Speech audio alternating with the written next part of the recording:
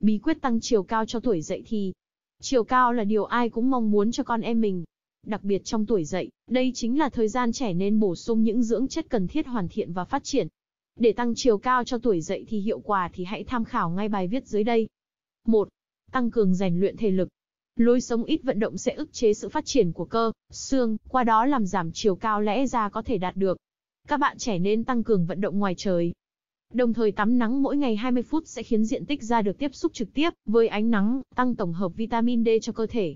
Vitamin D còn là chất cần thiết cho xương phát triển. Thiếu vitamin D sẽ giảm hấp thu canxi gây còi xương, chậm lớn ở trẻ đang phát triển. Đặc biệt là vitamin D3, đây là vitamin hỗ trợ rất tốt trong việc bổ sung canxi để cho trẻ tăng chiều cao. Tập thể dục đóng một vai trò quan trọng trong việc phát triển chiều cao ở trẻ. Mỗi ngày nên dành 30 phút đến 1 tiếng để luyện tập. Các bài tập phát triển chiều cao dành cho tuổi thiếu niên giúp kéo giãn các chi và mô tế bào trong cơ thể. Yoga là một phương pháp cải thiện chiều cao cho nam nữ. Trong các bài tập yoga có một số tư thế giúp kéo dài hệ xương khớp. Nếu bạn là người sôi nổi, thích vận động theo nhóm, bóng rổ sẽ là sự lựa chọn tối ưu nhất. Khi chơi bóng rổ, bạn sẽ bật cao và nhảy vươn người thường xuyên. Cơ thể không còn bị sức hút của trái đất giữ lại nữa, các đĩa đệm giữa các khớp xương sẽ giãn nở, giúp gia tăng chiều cao hiệu quả. Các môn khác như bơi lội, quần vợt, bóng đá, cầu lông sẽ giúp ích rất nhiều cho mục tiêu cải thiện chiều cao. 2. Cải thiện chất lượng dinh dưỡng và những chất cần thiết. Chế độ dinh dưỡng đúng đắn, không chỉ đóng vai trò quyết định đối với sự phát triển về thể chất, mà còn chi phối lớn tới sự tăng trưởng chiều cao. Giai đoạn dậy thì, không những chú ý chế độ ăn uống đầy đủ dưỡng chất, mà còn cần tăng cường một số nhóm thực phẩm thiết yếu, có lợi cho phát triển chiều cao. Bổ sung đạm vào chế độ dinh dưỡng, chất đạm protein là nền tảng giúp phát triển xương, cơ và sụn, từ đó, chiều cao cũng được cải thiện. Lượng đạm cần thiết mỗi ngày sẽ khác nhau, ở giới tính và thay đổi theo độ tuổi của bạn. Việc chia nhỏ bữa ăn giúp cơ thể hấp thu được chất dinh dưỡng nhanh chóng và đầy đủ hơn. Lượng dưỡng chất này đảm bảo cho hormone tăng trưởng được bài tiết tốt hơn, kích thích cơ thể phát triển nhanh và đạt được một chiều cao lý tưởng. Bổ sung kẽm cho cơ thể, sự thiếu hụt kẽm có thể làm chậm sự phát triển. Trong khi việc bổ sung kẽm không trực tiếp làm bạn cao thêm, nó lại giúp bạn tránh được việc quá trình phát triển chấm dứt sớm. Điều này sẽ giúp bạn đạt được chiều cao tối đa, mà cơ thể có thể phát triển một cách dễ dàng hơn. Kẽm còn là khoáng chất rất cần cho sự tăng trưởng, và cho hệ sinh dục trong độ tuổi dậy thì. Những thực phẩm giàu kẽm gồm, hải sản đặc biệt các loại hải sản có vỏ cứng, thịt cừu, rau rền, rau chân vịt bina.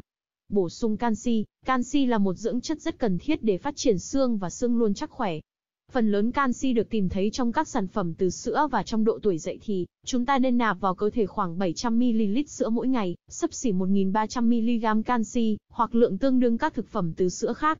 Có thể thay thế các sản phẩm từ sữa bằng các loại thực phẩm khác, bao gồm cá hộp, rau xanh, đậu nành, ngũ cốc dinh dưỡng, bánh mì. Uống đủ nước, nước có vai trò quan trọng trong việc thanh lọc cơ thể đồng thời tham gia các hoạt động khác của xương khớp.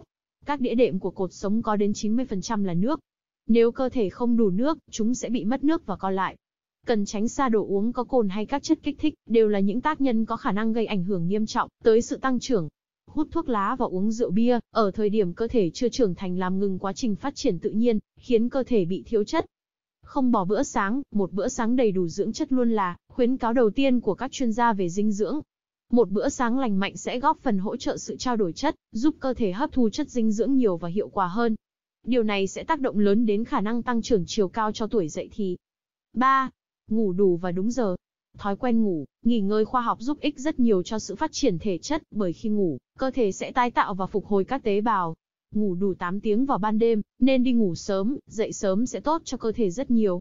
Hơn nữa, buổi trưa nên ngủ khoảng 15 đến 30 phút cũng rất cần thiết cho sức khỏe. Bởi vì nếu ngủ đủ giấc và đúng giờ sẽ cho các em một giấc ngủ sâu. Các hormone tăng trưởng được sản sinh trong lúc cơ thể đang ngủ, Thời gian và chất lượng của giấc ngủ càng cao, thì cơ thể càng tiết ra nhiều hormone hơn, làm quá trình tăng trưởng phát triển tốt hơn. Trên đây là những bí quyết giúp tăng chiều cao cho trẻ ở tuổi dậy thì.